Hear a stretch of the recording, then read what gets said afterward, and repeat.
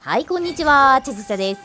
今回は怪異克服大名槌の初見プレイに挑戦し作成できる装備と装飾品肉質も確認したいと思います。武器は貫通の非属性弓です。頑張っていきたいと思います。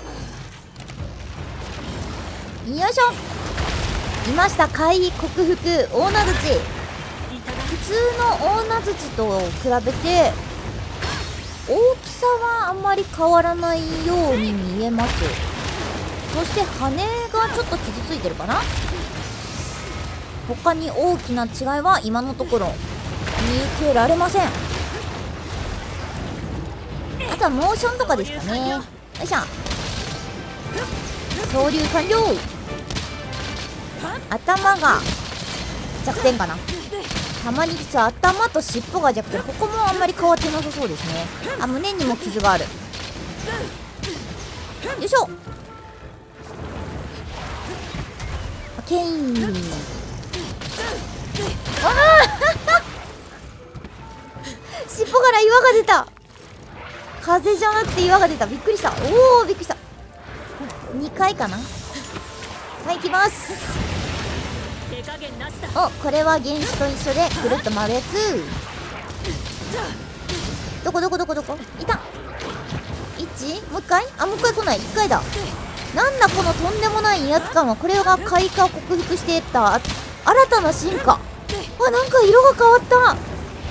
景色の色が変わってる。ピンク？キュリア色みたいな感じになってますよね。総流怪克服したら天気まで変えると。よいしょ。それかもしかしたら出している煙みたいなものの色が変わってるのか。どっちかですよね。寝ました。睡眠見ながら。どうしようかな。どっかに置きたいんですけど頭が埋まってるので羽の部分に小樽爆弾時置いちゃいます。はい。尻尾もまあまあ通りますけどダメージ的には頭の方がよく通りますかね。よいしょ。きた。あこれは解除なんだ。天気も晴れやかになりましたね。なるほど。開花のモンスターだと今の音だとねこれから怪バーストみたいなイメージありましたけど。危ない。オッケー。怪克服してる場合はあの音は解除の音なのかな？そしてまたすぐに すぐに怪克服しました。空の色が変わったのは煙があーなんだこれ。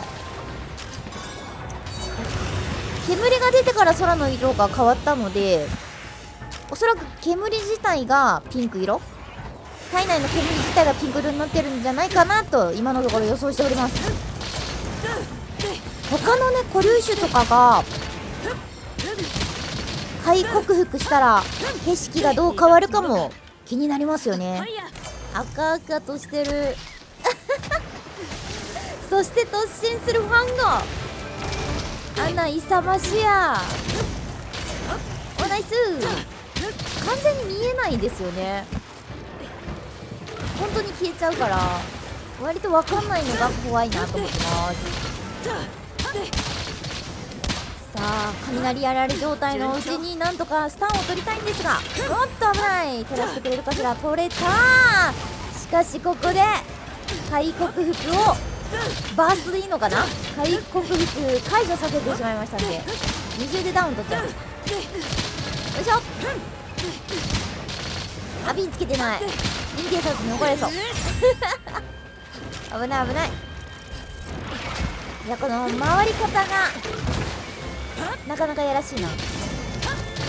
おい。よしなるべく後ろに回った方が安全っぽいんで尻尾の方に行きたくはあるんですけどやっぱり普通に回り込まれちゃうんですね。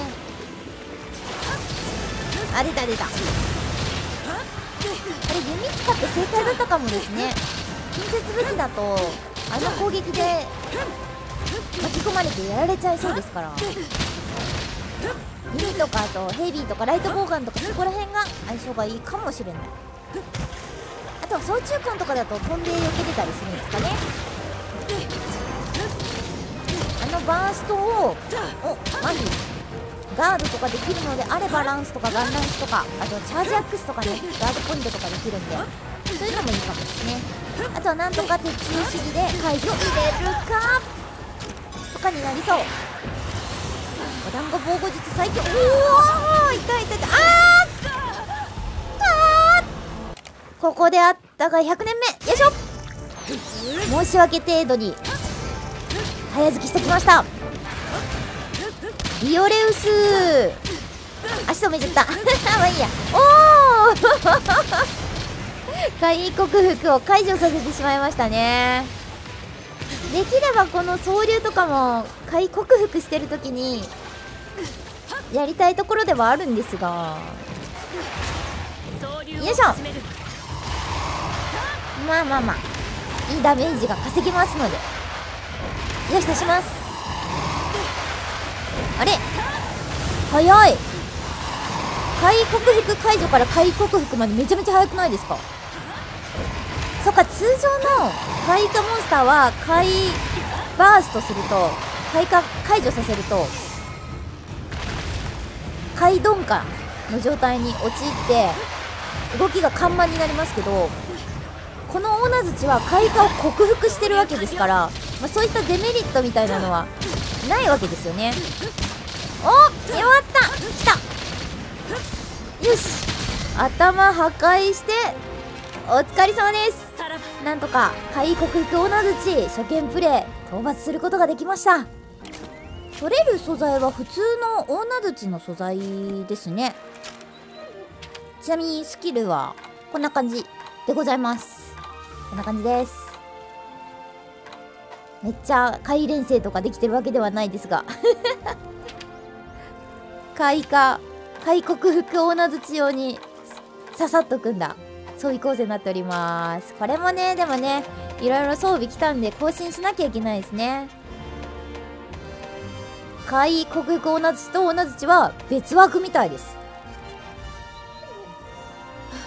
お疲れ様です。別枠なんだ。開花モンスターってね同じ欄に下のところになんとみたいな感じで出てきたんで別枠っていうことはやっぱり特別ってことですよね。お霞竜の破壊玉でいいんですかね。これがおそらく怪克服大名槌限定の素材になると思います。他はだって通常の素材ですもんね。9分11秒。勲章獲得しました。それでは防具見ていきたいと思います。フルチャージ3回避性能 1? これは福間共鳴と恐竜症がないバージョンの防具ではかなり入ってきそうですよね。いや強い。何これ？蓄積時攻撃強化。攻撃がヒットした際毒麻痺睡眠爆破。元気のいずれかが蓄積すると攻撃の威力が上がる。攻撃の威力が1.1倍？えこれめっちゃ強くないですか？めっちゃ強いですよね。うわーなんか確か他のスキルで100%あの状態異常が発動しますよみたいなのあるんでそれと組み合わせたら常に物理倍率が1.1倍になるってことですよね。えめちゃくちゃ強くないですか？あれ？でもちょっと計算してみないと分かんないかな。でも弓とかだと瓶つけてる間は1.1倍になるわけですから。え物理弓の時代ワンチャン？いろんなね武器が武器じゃないいろんな瓶がつけられる。弓の場合その瓶もね全部ね調合できるようにしたらワンチャン物理弓の時代来るかもですね。ちょっと計算してみないと分かんないんですけどなくはなさそう。まあ1.1倍だから汎用的には使えるけど最大の数値は出せないみたいなところでは落ち着きそうではあるんですけどね。あるんですけど、まあ、今まで正直物理弓使おうみたいな気持ちにならなかったんですがワンチャンこれでいいいいかなみたいな気持ちになっちゃうかもですね。そして見た目が可愛い。あそうだ。あとエスピナスアッシュの武器と組み合わせると結構いいかもしれないです。これは？あなるほど。あシリーズスキル装飾品で出ちゃうの？えやばやば。シリーズスキル装飾品できちゃうと今後ねクシャルダオラとかあとはテオテスカトルとかのシリーズスキルとかがつけられちゃうかもしれないですもんね。テオテスカトルのシリーズスキルって確か非属性の攻撃が上がったりとかしますしクシャルダオラはなんか体力の回復があったりするんでえめちゃめちゃめちゃめちゃ広がりそう。残念ながら作成できる新しい武器はなかったです。なので作成できるのは防具と装飾品。それが怪異克服大名槌でございます。全体的に非属性が通るのでやっぱり貫通弓はなかなか相性が良かったかなと思います。あとはね貫通ライトボウガンとかも結構相性が良さそう。やっぱり近づいてしまうと開国服のねあのバーストの時に結構事故りそうなので大名槌に関しては離れて遠距離で治療する方がもしかしたら楽かもしれません。ということで今回以上です。最後までご視聴誠にありがとうございます。動画良かったよって方は高評価ボタンのポチをお願いします。またどんどんサンブレイクの動画投稿していきますのでチャンネル登録もお願いします。とりあえず会投球レベル120に上げてきます。またね